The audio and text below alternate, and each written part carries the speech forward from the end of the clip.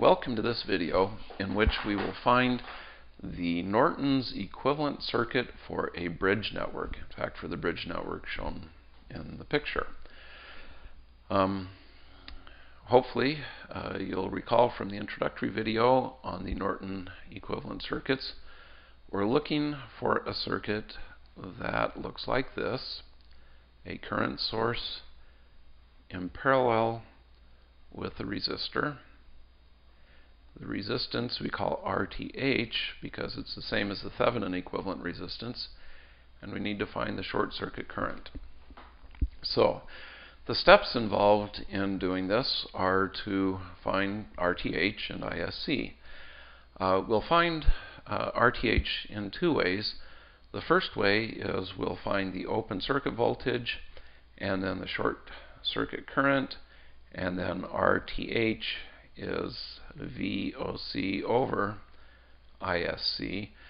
And then uh, the other way we'll find it is we'll actually just find the equivalent resistance um, for RTH. And uh, since we'll have already found ISC, we'll have the Norton equivalent circuit as well. So to begin with, we need to find the open circuit voltage. Okay, so we are finding the Norton equivalent with respect to these two terminals. So the first thing we need to do is find the open circuit voltage across these two terminals. Well, how do we do that, you might ask?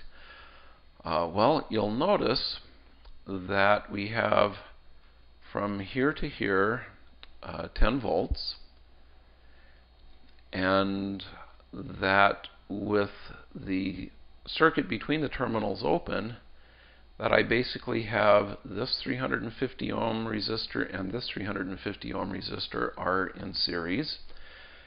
And so I can use a voltage divider to get the voltage across this, this resistor here.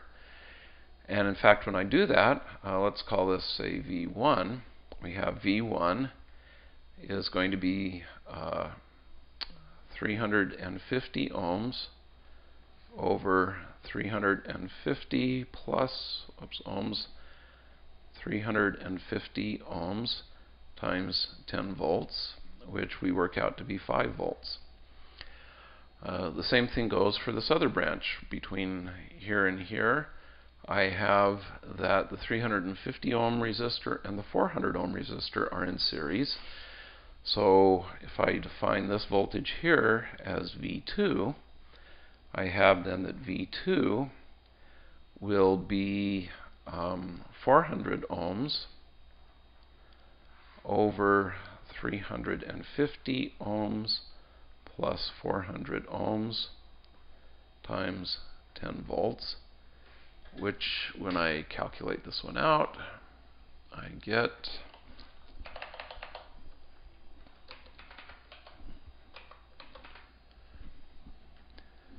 that this is 5.33 volts.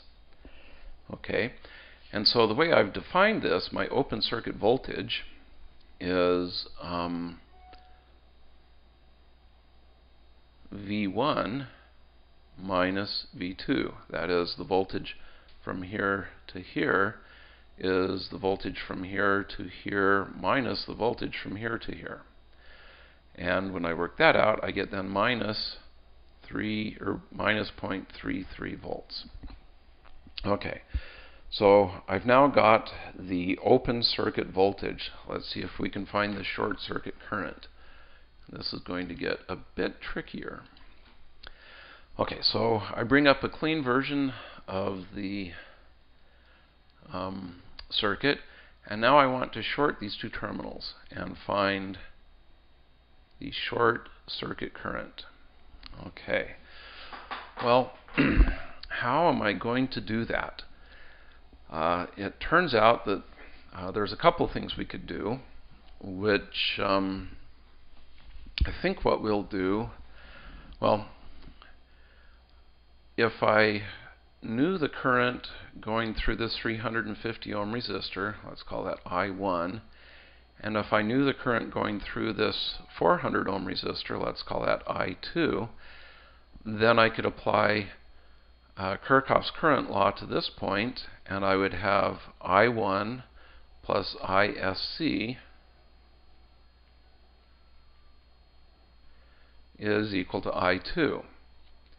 So if I can figure out what um, I1 and I2 are, we can solve this equation then for ISC.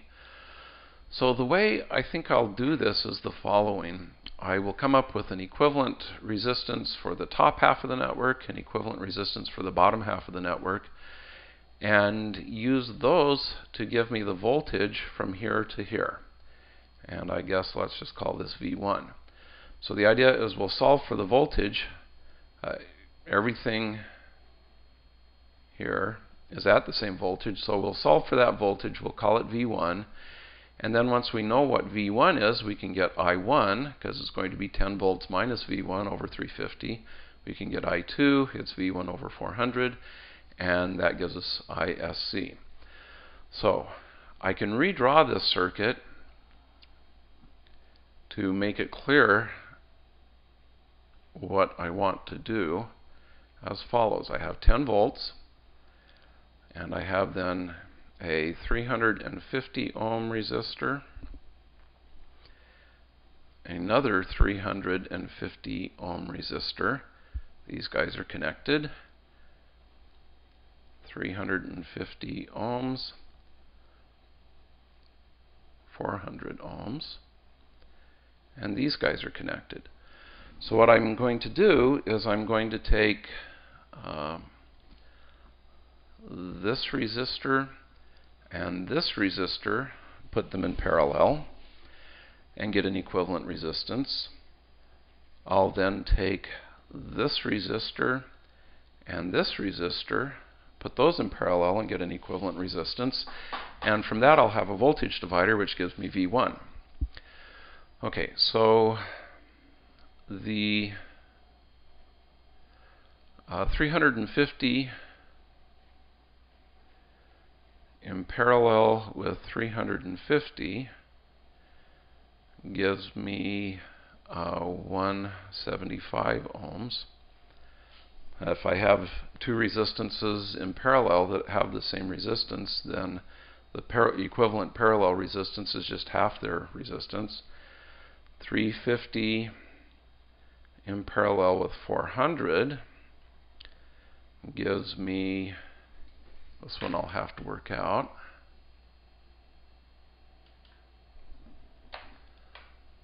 It's going to be 350 times 400 divided by 350 plus 400 which then gives me an equivalent resistance of 186.67 ohms. Okay. So, what that means is, well, just to make it clear, this computation here corresponds to these two guys. Okay, so now I can redraw my circuit as the following. I have 10 volts 175, 180, whoops, 6.67. And now I need to find this voltage, which I've called V1.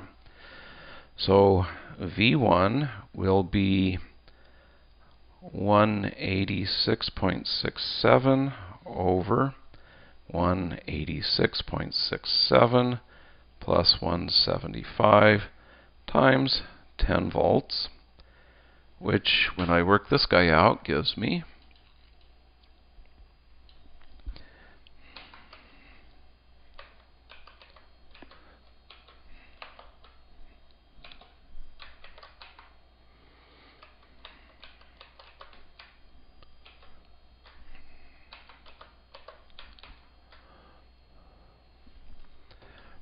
This gives me that V1 is 5.161 volts.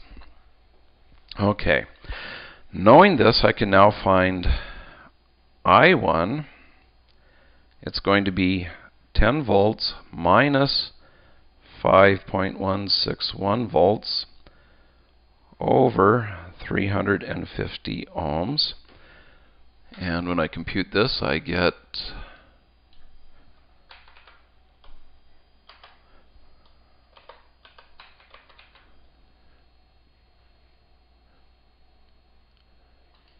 I get a long time to compute this.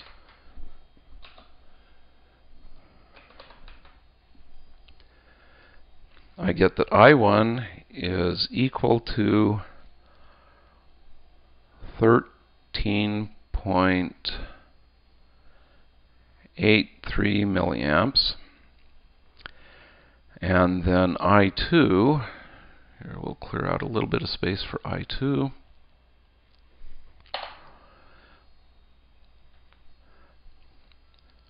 I2 will be 5.161 volts over 400 ohms, which when I compute this guy,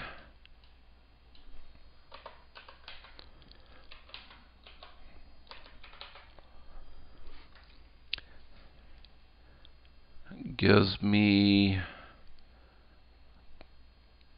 12.90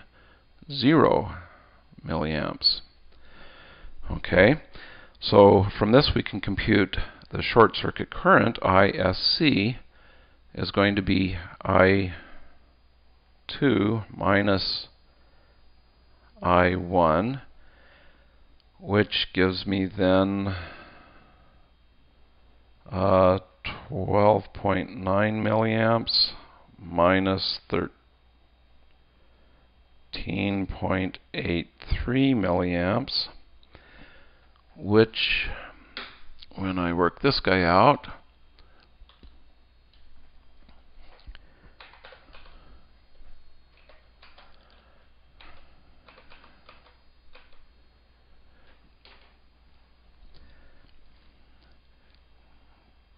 is minus 0.93 milliamps.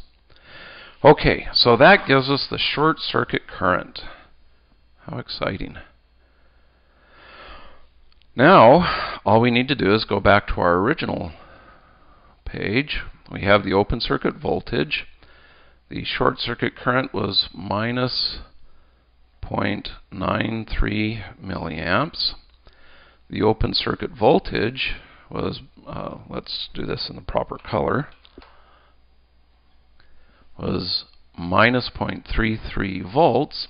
So R Thevenin is minus 0.33 volts divided by minus 0.93 milliamps, which is equal to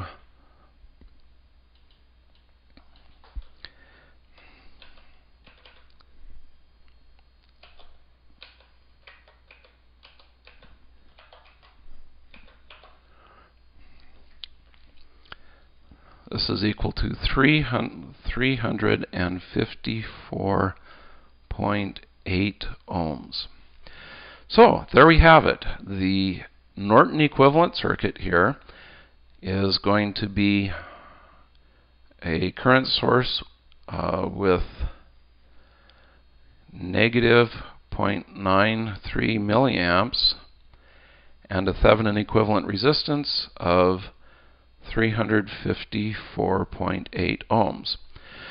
Okay, so the thing that we haven't done yet is computed the Thevenin equivalence directly by looking at the equivalent resistance of the circuit. And since I'm out of time on this video, we'll do that in the next video.